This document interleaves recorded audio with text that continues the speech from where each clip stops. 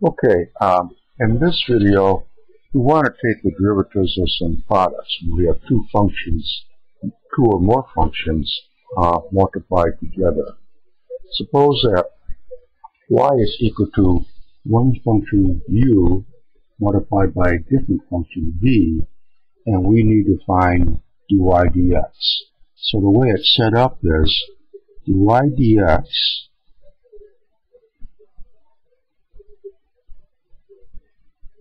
that's equal to this function here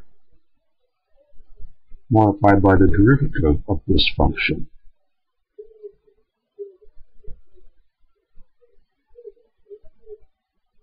plus this function multiplied by the derivative of this function.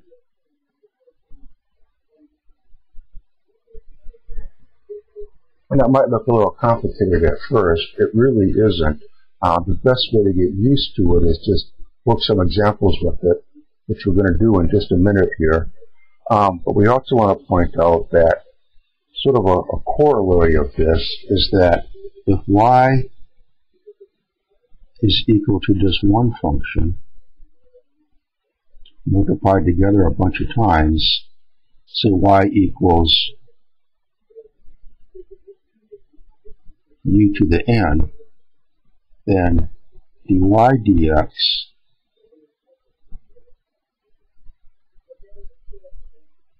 is you bring the n down it's multiplied by u to the n minus 1 power. We're not finished yet. Then this u here, we take the derivative of that, of the u dx. Now we have some problems where to solve the problem we have to do both. Use this and use this formula together. We have two of them like that. We may not have time uh, in this one video to work both the problems, so let's work one of them right now. Uh, let's say that y is equal to x minus 1 cubed times x plus 2 raised to the fourth power. And we want to find dy dx. So, it's this function here, keep that the same, and I'm going to multiply by the derivative of this function, plus then we're going to have this function multiplied by the derivative of this one. So let's get going. Here we have x minus 1. We multiply it by the derivative of this function. So we bring the 4 down, times 4, times x plus 2 to the 4 minus 1 power, or that would be 3.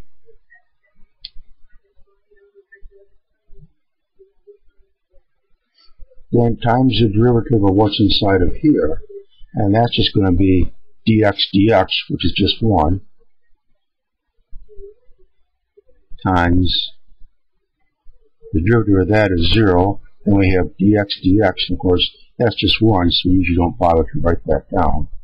Then we have plus this function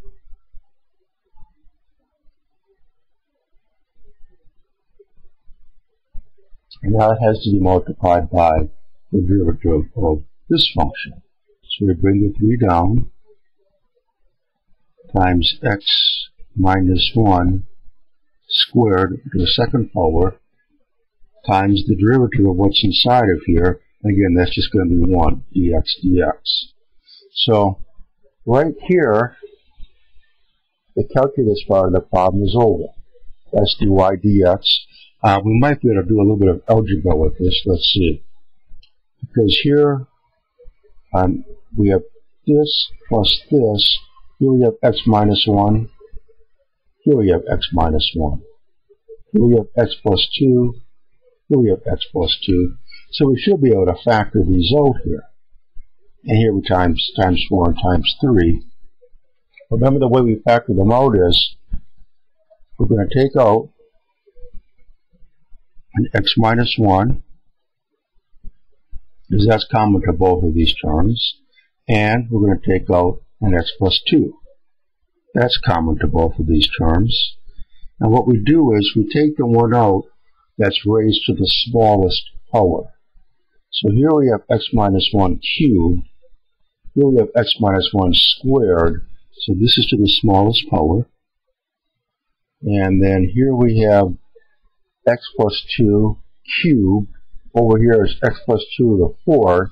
So this is the smallest power. And now, on this side of the equation, we have a 4. So we need a 4 in here. And we have x plus 2 cubed. That's here. We have an x minus 1 cubed. Here we have an x minus 1 squared. So this has to be 4 times x minus 1. So we multiply this times this, it gives us that. Plus, over here, we have a 3. And let's see, we have an x minus 1 squared, that's here. Have an x plus 2 to the 4th. Here we have x plus 2 cubed. So this is times x plus 2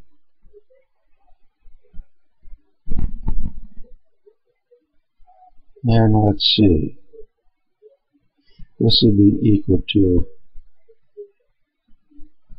x minus 1 squared times x plus 2 cubed and what are we going to have from here 4x plus 3x.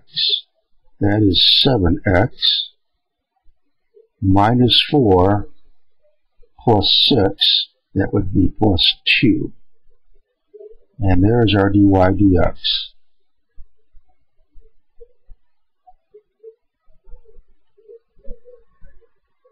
So that's it. The problem is over. And once we did this first step right here, the calculus part of the problem is finished.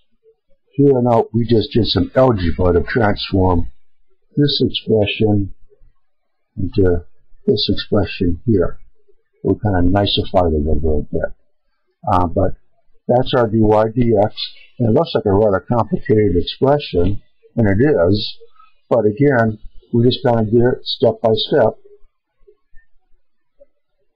It's this function multiplied by this derivative, which is right here, plus this function multiplied by this derivative, which is right here. The calculus part of the problem is finished. Then I realized that we could do some factoring out. So we got this, which with no problem at all got us to this step. Um, okay, that's it for this problem. We have another problem that uh, is of the same form here that might take a little bit more work than this one did and we may not have enough time in this video to complete that problem. So come back, join us in the next video, and we'll do another problem here of taking derivatives of products.